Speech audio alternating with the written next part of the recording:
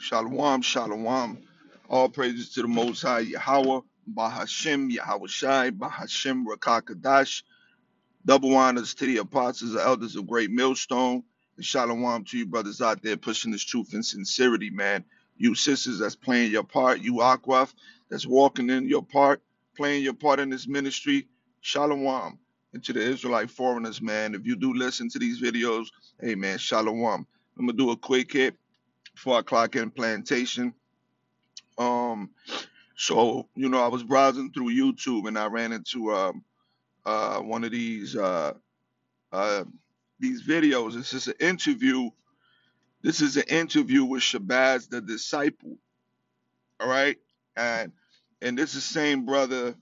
Um, I think maybe a couple of weeks ago, a month ago, you know, that was um being interviewed by Doggie Diamonds again And he's being interviewed by Doggie Diamonds in this one too. Now, this video I think is prior to the one that he was talking about uh, the apostles, elders of Great Millstone, and um, you know, the spirit was on this brother, man. The spirit was heavy on him.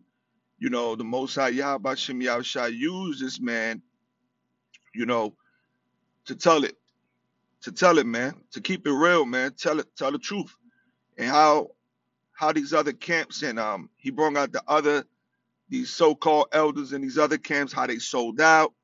You know they ain't got the 100% truth you know and you know he he magnified the name Yahweh Yahweh Shai man. He said Yahweh Yahweh Shai man. You know hey well everybody know about it you know so I ain't gonna keep talking. So in this in this clip right here what I'm gonna play man you know you know the Most is trying to work with this man and we don't know You know what I'm saying? We don't know what the Most High Yahweh Shem Yahshua got store for each one of us, but there's a purpose under everything. You know what I'm saying? Under the sun. So let's listen to him because he goes into, you know, why these uh why these uh these jakes, man, these celebrities sold out. You know what I mean? So they bows to Satan, devil. You know, and um they don't want to speak up about the truth. They don't, you know, it's you know how they how they receive, and the scripture tells you, man you know, uh, uh, you have received your consolation already.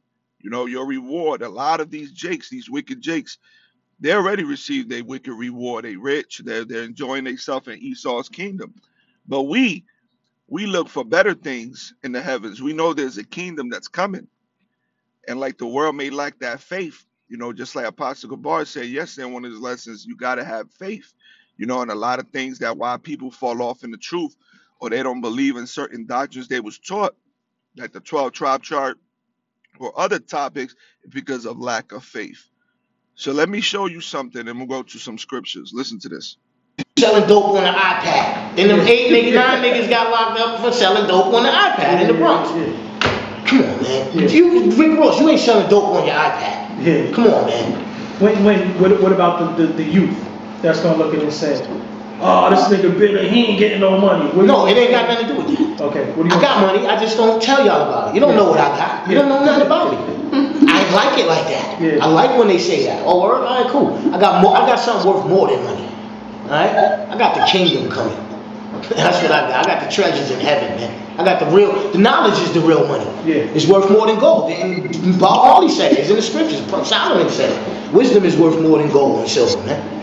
And- Knowing how to how, how to maneuver in this fucking hellhole, Yeah. and, and the walls are closing in, the walls of hell are closing in, they even squeezing tighter now. To be Let's go back. That's gonna look at it and say, oh, this nigga bitter, he ain't getting no money. What no, it ain't got nothing to do with that. Okay, what do you? I got money, I just don't tell y'all about it. You don't know what I got. You don't know nothing about me. I like it like that. Yeah. I like when they say that. Oh, word? all right, cool. I got more. I got something worth more than money. All right? I got the kingdom coming. That's what I got. I got the treasures in heaven, man. I got the real. The knowledge is the real money. Yeah. It's worth more than gold. And Bob Marley said it. It's in the scriptures. Solomon said it. Wisdom is worth more than gold and silver, man. And- Knowing how to how, how to maneuver in this fucking Khan, man. All praises to the Most High Yahweh Shem Yah. So you can hear it, man. We know what treasure we got. You know what I'm saying? So the brother is speaking some truth, you know. Let's go to some scriptures. All right. Let's go. This is Matthew 6 19. Lay not up for yourselves treasures upon earth where moth and rust do corrupt and where thieves break through and steal. But lay up for yourselves treasures in heaven, where neither moth or rust do corrupt, and where thieves do not break through nor steal. For where your treasure is, there will your heart be also. So that's what we're looking for. We know that there's a kingdom coming with all the riches. You know, our treasures laid up in the heavens, man. This is a spiritual thing. And like Shabazz the disciple said, you know, you know, he got something way better, you know, way better than the money of this world. He got the kingdom, man. You know, the kingdom is described, the pavements and the roads made out of gold, but a beautiful gold that you have never seen before, man. A translucent, transparent, clear gold, man. That's beautiful, shiny. Man, I, listen, just read Revelation, man. Read Revelation. And um, hey man, he said it. So, hey man, at the end of these, we in these last days, we don't know what Yahweh Shem Yahshua got in store. There's gonna be a lot of people that's gonna come back to the truth at the last.